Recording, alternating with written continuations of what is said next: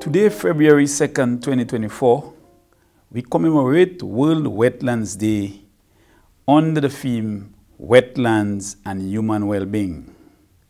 In 1971, Ramsar Convention was signed in the small town of Ramsar in Iran with the overarching aim of wetland conservation and wise use of our natural resources through local and national actions and international cooperation.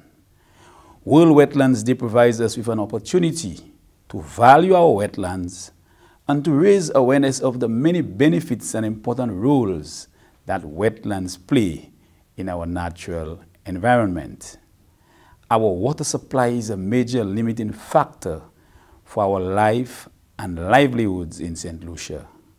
Year after year, we experience droughts and water shortages across the island, and this precarious circumstance is predicted to worsen due to climate change.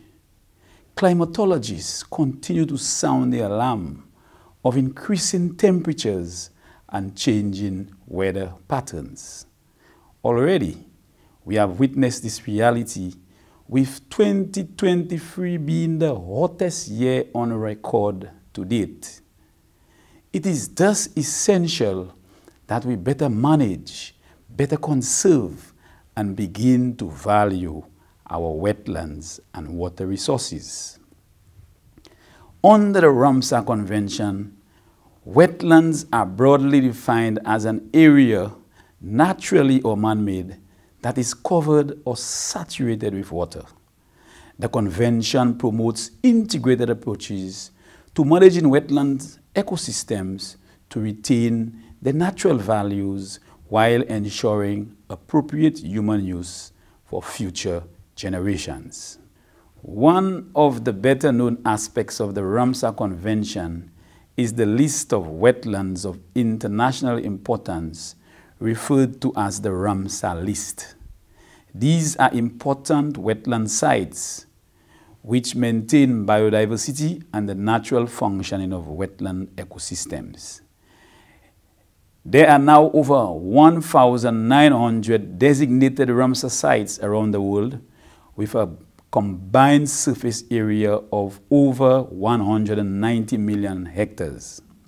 However, this is still a very small figure as only approximately 6% of the Earth's land surface is covered with wetlands. The Mankote and Savannes Bay mangroves are two sites of international significance in St. Lucia that are featured on the coveted Ramsar list. These sites demonstrate the value and importance of wetlands in our country.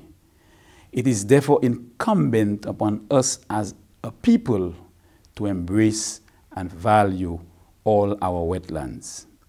In addition, both the Mankote and Savannes Bay mangroves are declared marine reserves under the Fisheries Act of 1984. Not only do these sites help in coastal erosion control, flood mitigation, and provide a habitat for wildlife, they also offer an excellent nursery for fish and other marine life forms. Furthermore, both sites have for decades provided livelihoods for neighboring communities in ecotourism, apiculture, equestrian rides, bird watching, fishing, sea moss, and charcoal production.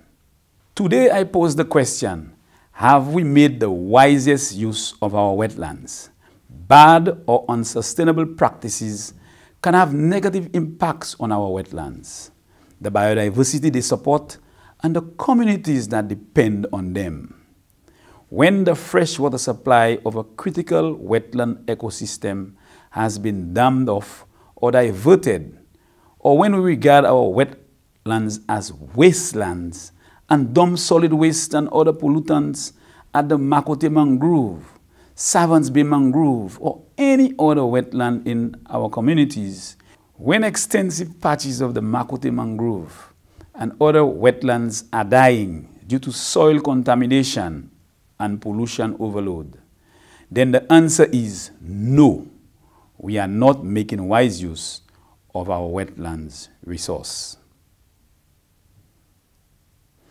Indiscriminate waste disposal and unsustainable development are two of the most common factors that threaten our wetlands. The time is now as we require all of us to participate in the campaign to save our wetlands. Let us be more mindful of the importance that our wetlands play and endeavor to preserve and protect them. Let us each adopt a wetland within our community. Let us be more responsible citizens and refrain from destroying or dumping garbage into our wetlands. We need positive action from all, from government to grassroots, in order to achieve this goal. Save a wetland in your community. Commit to doing your part. Have the courage to show up and be seen, even when you have little control over the outcome.